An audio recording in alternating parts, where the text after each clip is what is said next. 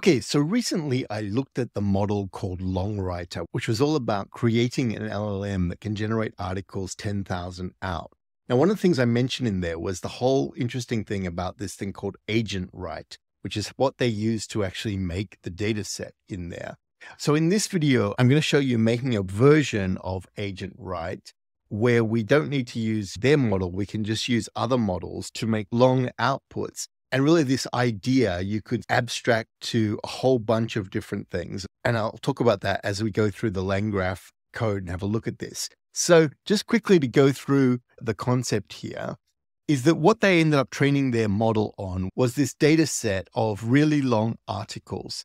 And the articles basically have a, a sort of standard prompt input and then they might be 5,000 words out. I think it was for anything from two to 10,000 words is what they generated. I'm going to show you in here that basically you can build an agent with LangGraph that does the exact same thing if you wanted to make your own data set to get a really specific data set. In this case, the prompt asks for an article that's 5,000 words long. You can see that it's come out to be over that as we go through this.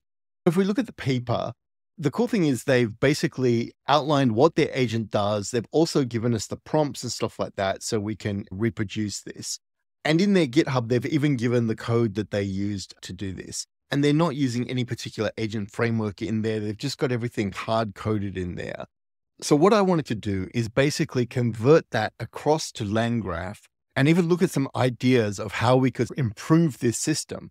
So, the system here is that basically you give it an instruction. So here you've given it an instruction to write an article on the Roman Empire. It will then make a plan and it will decide like paragraph one should be about this, and that should be 700 words long. Paragraph two should be about this, that should be this amount long. So you've got this plan.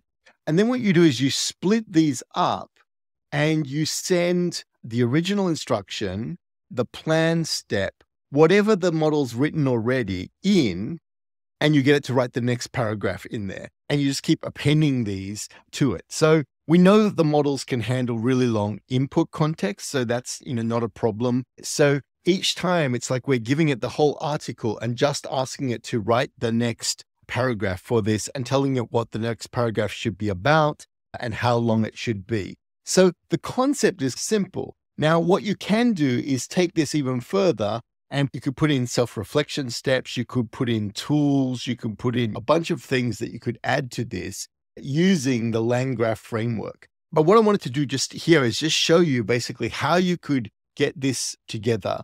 And then also talk about the whole idea of getting composability when you're building your agents so that you can swap things in and out, you know, quite easily. We'll look at doing this with a few different language models so that we can try see how it goes for various language models as we go through this. So let's jump into the code and have a look at this. Okay, so the first thing I guess to cover and just remind ourselves is that we're, when we're using LangGraph, we've got a few key things. We've got to build the graph and this time, rather than just put it in a Colab, I'm actually breaking this out into a proper project, a little bit rough because I've just put it together. But you'll see how we can make everything composable in here. So we can reuse these. We can basically repurpose bits of the code quite easily as we go through this. Okay, so the first thing in LangGraph is we're going to have our graph, right? And for the graph, we need to basically define our state, where we're going to have a dictionary of things that we're going to pass around. We are then going to basically define the nodes, and then we're going to define the edges of how everything is done here. And this is a pretty simple project to see how things go. And then we can expand on this to add in other things, which I'll talk about as we go along. First off, I guess let's look at our main file. So our main file, we're basically just going to import our environment variables. So this is going to have our keys and stuff like that. We're then going to basically instantiate the graph, right? So this is what we're putting together here. I'm then putting together the instruction that we've got here. Let me just make this easier to read. So we can see that this instruction or this initial prompt, as I often call it as I'm passing it around, is write a 5,000 word piece about the HBO TV show Westworld and its plot, characters, and themes. Make sure to cover the tropes that relate to AI, robots, consciousness. Finally, tackle where you think the show was going to go in the future seasons had it not been cancelled. All right, so the key thing is, I guess we're going for 5,000 words. Now, as I showed you before, we do end up hitting the 5,000 words, right? We're getting over 5,000 words for doing this. And that's not something that you would normally just get out of an LLM, right? Unless it's fine tuned for doing that. All right, let's look at how this is put together. So, our graph basically, we're going to just take this graph state, and the graph state, we're going to have the initial prompt. It's then going to make a plan. And we can see this sort of down here. If we see, okay, we're going to have a planning node, we're going to have a writing node, we're going to have a saving node. Now, we could put in some extra things like a, a self reflection node in there. We could use some tools if we wanted to do some research about this. Really, you could take this a whole bunch of different directions quite easily from this. But here we've got our initial prompt, our plan, the number of steps. I like to keep that. Our final document that we're going to have out, the word count, and then the LLM name that we're going to have in here. Now, one of the key things is because I'm trying to keep everything composable, I've got the nodes as separate things. And I've turned out, in, in this case, I've put a file for each node. Now, I could have put all the nodes in one file right in here, and I didn't even need to make it as a folder in here. But I think this is a good way of being able to plan out the different things. Now, if you're used to doing things with perhaps Crew AI or something like that, you would think of these as having all the separate agents. In some ways, you can think in LangGraph of each of these nodes as being mini agents that are going to do different things. So in this particular one, what is it doing? The planning node, right? So this is obviously going to do the planning thing. We've got some stuff here that we just print out to basically see that it's running. We get the initial prompt. We update the number of steps that we've passed around, and we're going to make a plan. Now, to make that plan, we're going to use the planning chain, right? So let me just close this out. If we come in here and look at the plan chain here, we can see that it's going to bring in the prompt for that. So if we look in here, we've got our planning prompt. And this is what I took from their paper, right? So they had prompts for this, and we can just pass in the initial instructions, the initial prompt to go in here. But as we're doing it in the chain, we can basically just load up that text file. Now, the cool thing is, at any point, if we want to change our prompts, all we have to do is come in here and change this text files. They've got one for planning, they've got one for writing, I'd probably add one in for self reflection, stuff like that. Perhaps some for doing research or doing other things like that. But you can see here we've got the planning chain, we've got the writing chain. So the writing chain, and in fact, actually in both of these, I'll show you sort of like a trick that I do is that when I'm creating these chains, because at the start you want to create your chains, right? And you want to make sure that they're going to work. So the chains are just this LangChain expression language. And here it's basically just taking our prompt that we're going to feed something into it. We're going to pass it into the LLM. We're going to pass it into the output parser. Now, one of the things that I often do with these is that because you want to test these and see, okay, are these prompts good? Are they giving me what I want? That kind of thing.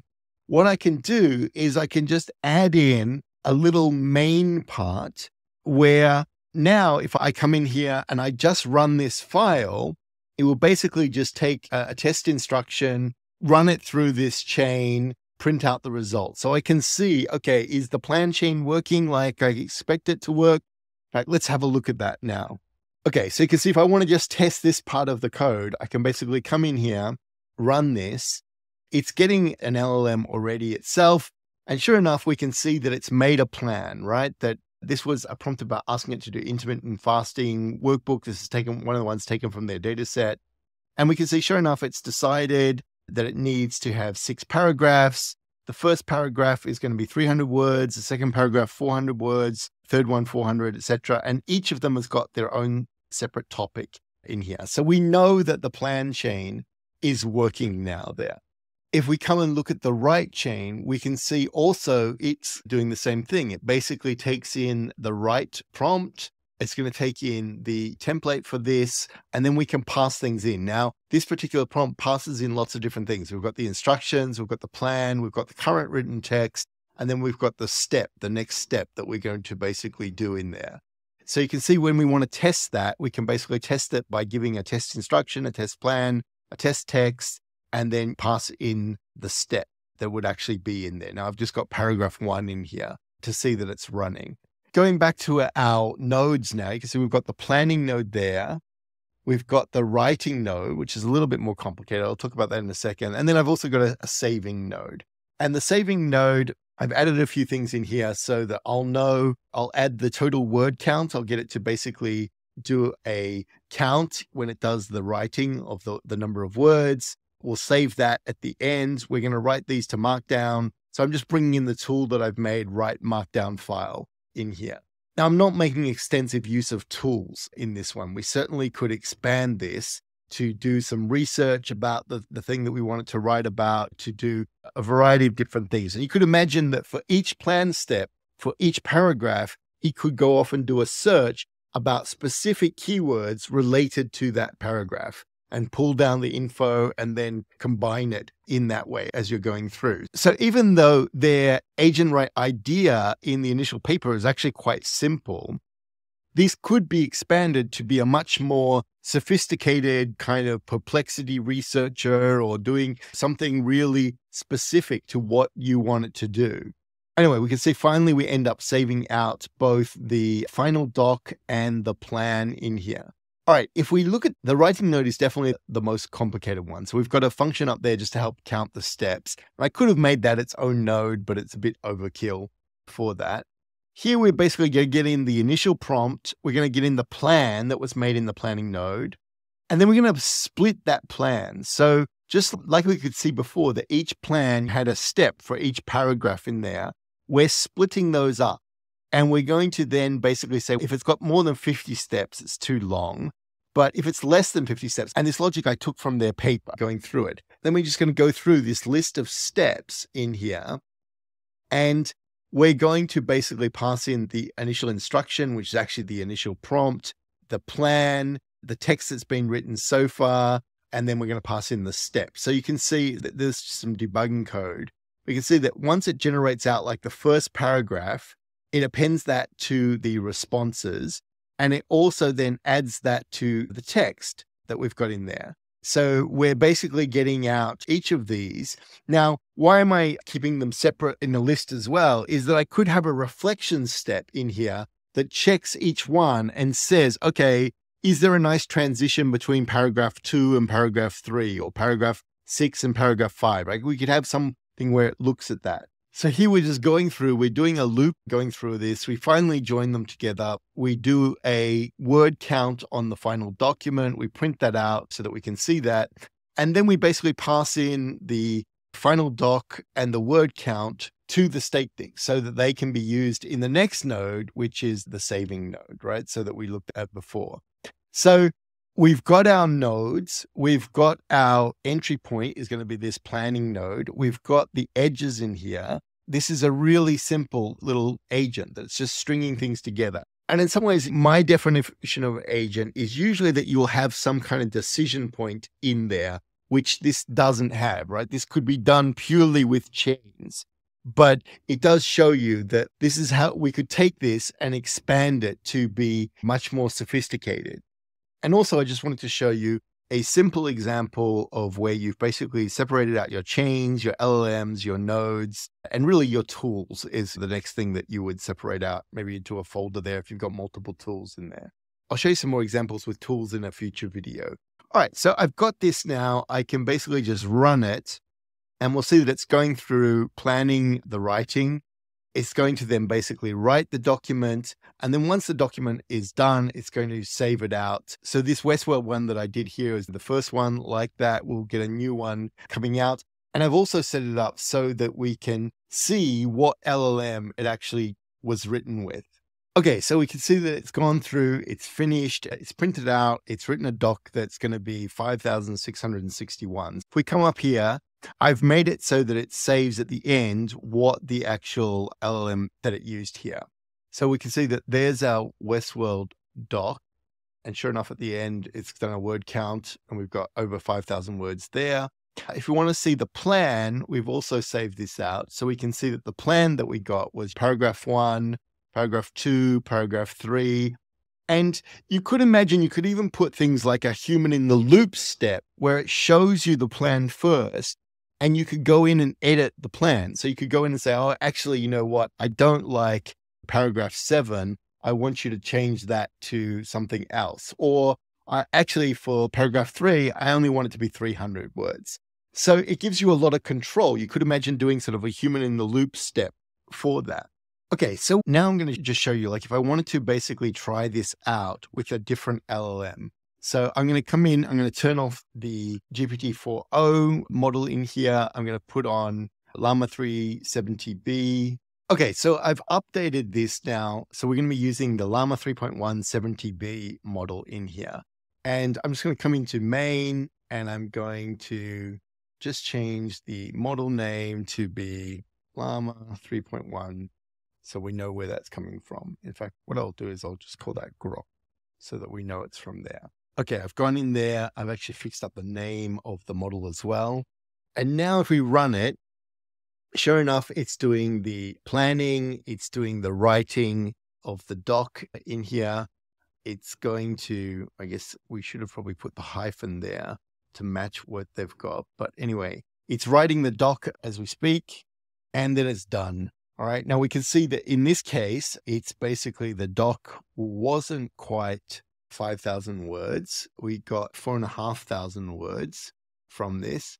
But you can see, again, we've still got a, an article about this. If we look at the planning, we can look at the Llama 3 planning. We can see that actually, in some ways, maybe this was simpler. So you could imagine that we could use one model for doing the planning. If we could use one model for doing the planning, perhaps more a high end model, and another model for doing the actual writing of this. If we wanted to use the Google model, we could basically just bring in that and use, say, the latest Flash model. If we wanted to bring in Ollama, we can bring in Ollama if you want to do something with a local model. You've got a whole bunch of, it's easy to swap in out models in here because everything is in this modular and composable way. So this is something then that we can also deploy quite easily, right? Just as we've got this main file up here, we can actually deploy this to have maybe an API endpoint that this is getting sent in each time. We could have put in an input thing for someone to type in their prompt as we go through this. But the idea here is we could basically now use the same kind of idea as their original agent write, but we can swap it out the models, we can swap out the prompts very easily. We can add in nodes for self reflection and other things as we go through this. Since I originally looked at the long writer, it looks like they've also done another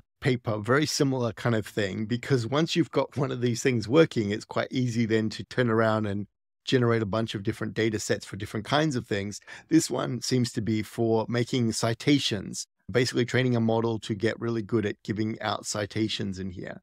And sure enough, if we come in and look at this, we can see that they've got again, a similar kind of agent slash process for making this supervised fine tuning instruction data sets in here. So overall, I thought this was a nice way to look at building an agent that's very reusable, composable, that you can swap things in and out from this and use it as in the paper, they obviously made something that could generate a data set, but you could also use this for generating reports that someone asks for. You could imagine you could put in a RAG system with this. You could put in search. Really, there's a whole bunch of different things that you can do just by adding to the nodes, adding in conditional edges in here, etc., that allow you to expand on this whole agent idea in here. All right, as always, if you found the video useful, please click like and subscribe. If you've got any questions, etc., please put them in the comments below. I'd love to hear what people are doing with this. If there's any particular thing that people would like me to cover, as an addition to this, let me know in the comments. I can certainly show you how to expand this. I've already done a video about putting sort of RAG into this kind of thing so that you can look at this. I also thought that moving away from Colab for a little bit was a good way to just show people how to put something like this together in more of a real world project for something like this. Anyway, thanks for watching and I will talk to you in the next video. Bye for now.